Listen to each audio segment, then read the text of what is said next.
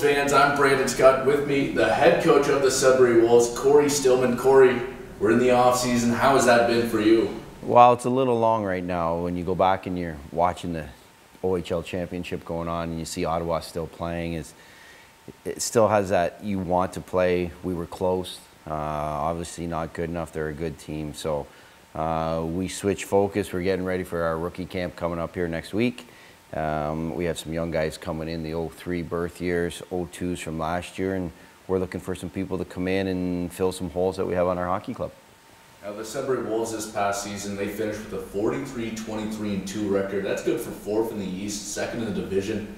Was this a successful one for you? Uh, it was a successful season after last year having 17 wins. And it, sometimes it takes a, um, a year or two to build something. Uh, I think we, we jumped a little bit, fast forwarded, uh, bringing in Ukko as a goaltender, who was a big key in a lot of the, a lot of those wins. But now we need to find a goalie who's going to replace him. And if we do that, the core group that we have here, um, we've learned how to play defensively, how to score, and I think the biggest thing is, is we got into the second round of the playoffs, and it's a learning experience for everyone. Now, uh, this team, it was really like a blue collar team. It was by committee on our offense. Uh, who were some of these players that really jumped out in your mind that made large steps of improvement? We we are a committee team. Uh, we we went in and we brought in Adam Ruzicka at the end of the season. Uh, but if we didn't have him, I don't think we would have had a guy in the top 50 in scoring. So uh, we came, we worked hard offensively. You look at a guy like Nolan Hutcheson, uh, scores 25 goals had a big second year, got used to the league. Uh, when he's playing hard and playing big, which he is such a big athlete, strong athlete, I think we're going to see more from him. I think he can continue to produce. I think there's more goals there, the way he goes to the net. Uh, his roommate, Emmett Sorensis, comes in uh, the year before, barely played, and was a big part of our team. Maybe not offensively, but the physical aspect that he brings to the game. Uh, he broke his ankle or his leg, and, and we missed him playing against Ottawa.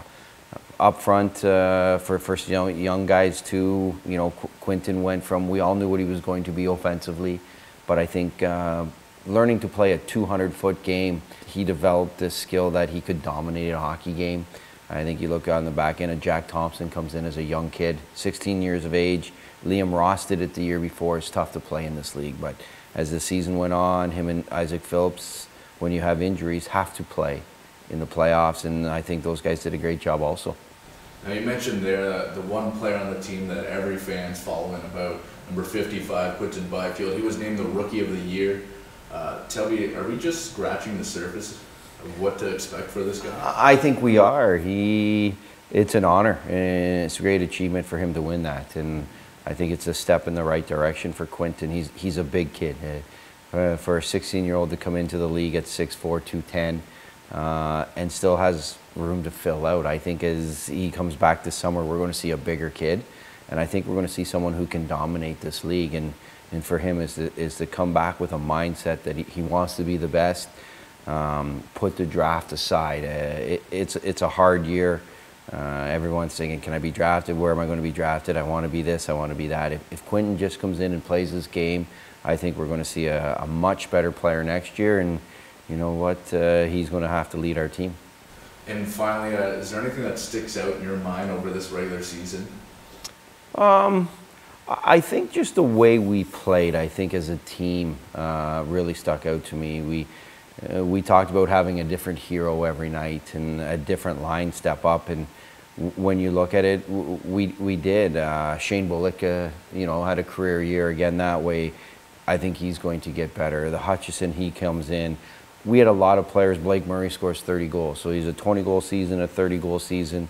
Uh, hopefully next year he can score, score 40. But uh, you, you saw improvements from every player that we had. And as a coaching staff, when they go home, we say to get bigger, better, faster, stronger, smarter. And we did that after one year. Let's see what's going to happen next year. All this and more still to come. Our second part of the State of the Union, where we get to talk about playoffs. Branden Scott and Cory Stillman.